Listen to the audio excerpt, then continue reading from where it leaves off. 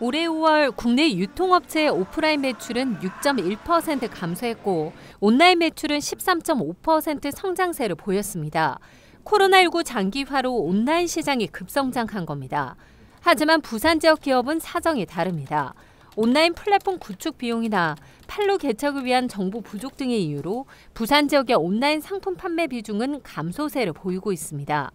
상황이 이렇다 보니 부산시는 비대면 경제 시대에 적극 대응하기로 했습니다. 가장 먼저 비대면 경제팀을 신설했는데 소상공인과 전통시장, 중소기업, 벤처 창업기업 등 각 경제 주체들이 비대면 경제 구조를 체계적으로 만들어내고 성공적으로 안착할 수 있도록 지원한다는 계획입니다. 비대면 경제 체제에서 산업별, 경제 주체별 통합적으로 관리할 수 있는 컨트롤 타워 역할을 하게 되는 것입니다.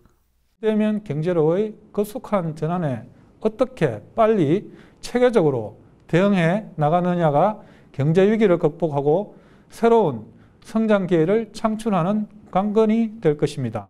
부산시는 온라인 시장 성장에 따라 유통 시스템이 복잡해져 소규모 판매자가 감당하기 힘들어진 만큼 소상공인의 유통 역량 강화에 주력할 계획입니다. 상품 입고부터 분류, 재고와 품질 관리 배송 등 고객에게 상품이 도착하기까지의 전 과정을 일괄적으로 처리할 수 있도록 하는 것입니다. 이를 위해 부산 전역에 소규모 기업 스마트 공동 유통센터 4곳을 구축할 계획입니다.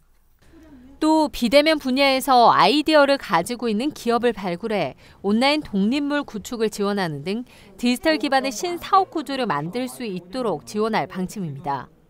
부산시는 이 밖에도 기업들의 온라인 진출을 지원하는 인프라를 구축한 동시에 온라인 판매 특별전과 오픈 마켓에 맞는 제품을 기획해 실질적으로 기업이 역량을 키울 수 있도록 마케팅을 지원할 예정입니다. 헬로티비 뉴스 차선영입니다.